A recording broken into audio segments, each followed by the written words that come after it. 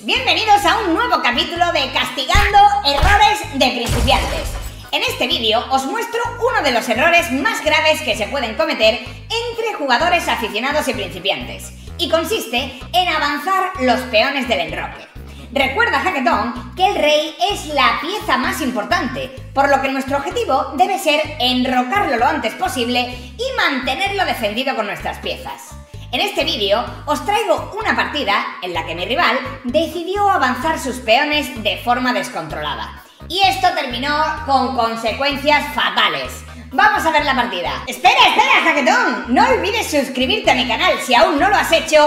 Y muy importante también, activa la campanita y así no volverás a caer en estos errores típicos. Ahora sí, vamos con el vídeo.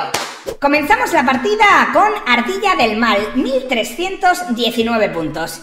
Y en esta ocasión voy a poner en práctica mi repertorio enigmático con E4. Ya sabéis, como os decía, que he investigado y trabajado mucho en recetas enigmáticas para incomodar lo máximo posible a nuestros rivales. E5, vamos con caballo F3. Ya sabéis que mi recomendación contra la defensa E5 es la apertura 4 caballos. Y la idea es continuar con este G3 que es realmente interesante. Hay planes muy sencillos que vamos a recordar sin ningún tipo de problema y, como os digo, vamos a poner a nuestro rival en muchos problemas. Tras este alfil por C3, la idea de Ardilla del Mal, sin ninguna duda, es eliminar nuestro caballo defensor del punto E4 para poder realizar la captura. Pero aquí tenemos un truquito muy enigmático, jaquetones. Fijaos, vamos a capturar de nuestro peón D. Y ahora tras caballo por E4, tras caballo por E4, realmente no es un truquito enigmático con el que estemos consiguiendo una ventaja de material o similar, pero vamos a recuperar el material sacrificado simplemente capturando en E5 y activando nuestro alfil de fianchetto. Por tanto, después de caballo por E5, recuperaríamos el material sacrificado y además conseguiríamos la pareja de alfiles.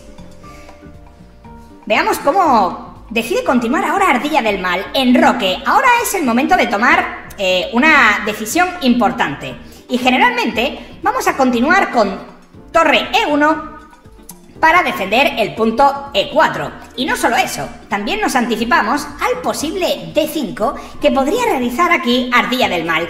G5, mucho cuidado jaquetones, mucho cuidado. Siempre os digo que no avancéis los peones del enroque. Esto puede provocaros muchísimos problemas. De hecho, este G5 puede ser motivo para sacrificar nuestro caballo en el punto G5. Hay muchas posiciones donde este sacrificio se vuelve muy muy peligroso, ya que tras la recaptura, H por G5, vamos a recapturar de nuevo de alfil, vamos a dejar clavado el, el caballo de F6 y luego nuestra idea va a ser incorporar piezas para presionar la clavada. En este caso, vemos que tras el sacrificio en G5 no contamos con las piezas suficientes para seguir presionando sobre el punto F6. Si tuviéramos sin embargo, si tuviéramos un caballo en C3, sí que podría venir rápidamente hacia la, casilla D5. Por ello, vamos a descartar este posible sacrificio en G5, también muy temático, y vamos a atacar al enroque con H4. Veamos cómo decide continuar ahora Ardilla del Mal y cuidado porque como os digo, ahora su rey está muy muy vulnerable en G8. Vamos con caballo H2, presionamos en G4 y ahora fijaos jaquetones como el peón de H6 está indefenso y por tanto podemos capturarlo sin ningún problema. Una idea podría ser incorporar rápidamente nuestra dama al ataque con dama C1 y dama G5, pero realmente alfil G5 es una jugada mucho más fuerte aún, porque dejamos al caballo clavado y Ardilla del Mal no tiene una forma sencilla de librarse de la clavada. ¿Y cómo queremos presionar ahora el caballo clavado? Pues una maniobra muy interesante, que además mejoraría la situación de nuestro caballo en el lateral, sería vía F1, E3 y D5. De esta forma, como os digo, estaríamos mejorando una pieza y además castigando al caballo clavado en F6. Después de torre E6, no eh, necesitamos maniobrar con nuestro caballo porque Ahora caballo por G4 sí es posible. Fijaos que la torre en E6 entorpece la trayectoria del alfil de casillas blancas. Y por tanto, después de caballo por G4, cuidado jaquetones, porque Aldilla del Mal se encuentra en una situación muy, muy comprometida. Ahora tenemos diferentes formas de presionar el punto F6. Una de ellas sería continuar con dama F3. Otra, y algo más, eh, algo menos predecible, sería alfil H3. Fijaos que la idea de alfil h3 es atacar también en algún momento a la torre de e6. Vamos ya directamente con dama f3 porque debería ser suficiente, jaquetones, para conseguir la ventaja decisiva ya en esta posición. Presionamos el punto f6 y veamos cómo decide resolver aquí los problemas ardilla del mal porque como os digo es muy difícil la posición con la que cuenta ahora. No avancéis innecesariamente los peones del enroque, jaquetones. Esto puede ser motivo de derrota inminente. Por tanto, tratad de no avanzar los peones. Os lo repito porque es muy importante.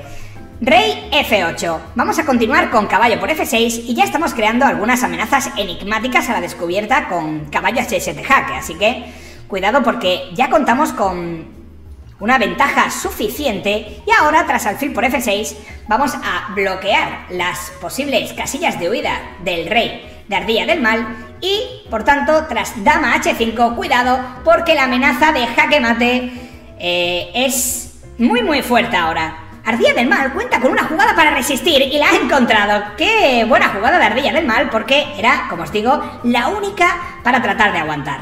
Vamos con dama h8 jaque, igualmente vamos a dejar al caballo clavado y ahora con h5 y h6 debería ser suficiente, jaquetones. Si es cierto que Ardía del Mal puede mostrar alguna resistencia ahora con dama e6, pero después de alfil g7 jaque estaríamos igualmente solucionando el problema. Vamos con h6, vamos a avanzar nuestro peón h y a crear problemas aquí a Ardilla del Mal. Veamos, porque la situación es realmente complicada para Ardilla del Mal.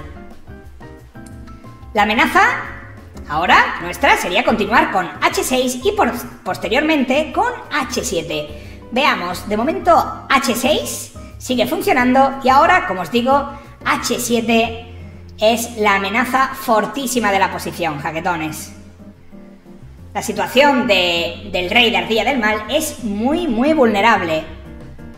No es fácil continuar en esta posición, en absoluto. De hecho, ahora podríamos tratar de simplificar la posición, jaquetones, por ejemplo, cambiando damas. Lo podríamos hacer con dama G7 jaque y posteriormente vamos a avanzar el peón H y aunque no vamos a dar el jaque mate ardilla del mal, de igual forma va a ser suficiente para ganar la partida. Rey E8, cuidado porque ahora podríamos continuar con dama por G4 y posteriormente H7. O bien, continuar con H7 directamente. De igual forma, vamos a coronar el peón de forma inevitable. Vamos con dama por G4, cambiamos damas.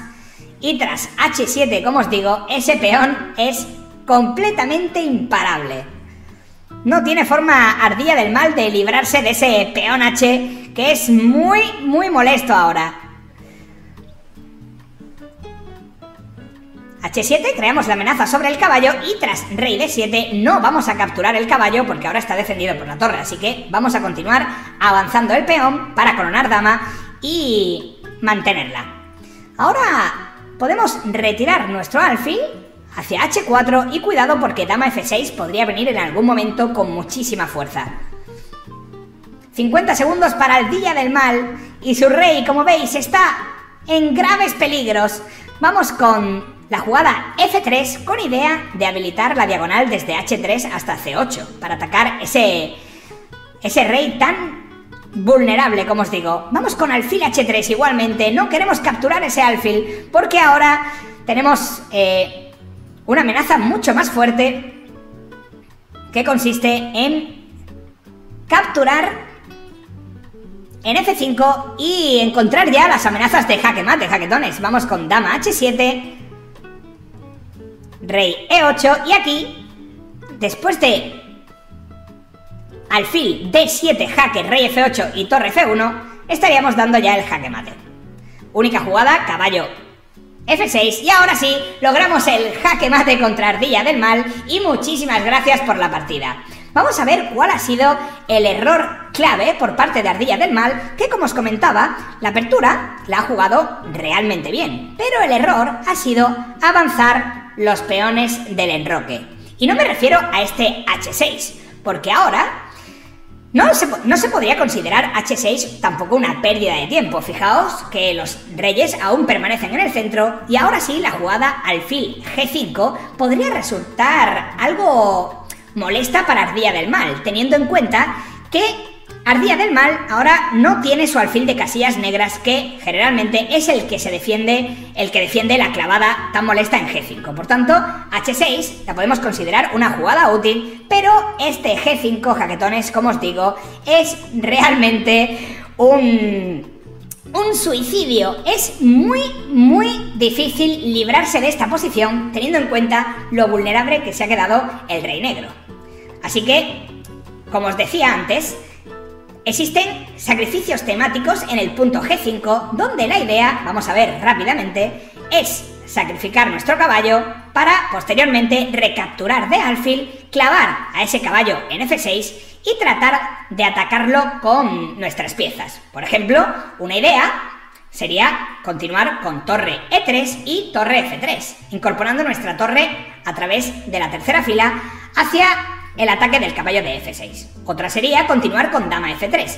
Pero de momento no contábamos, como os decía, con las piezas suficientes para atacar rápido ese caballo que justifique el sacrificio en G5. Si lo podríamos hacer cuando contamos, por ejemplo, con un caballo en C3, o mejor aún, con un centro móvil que nos permite avanzar el peón de E5.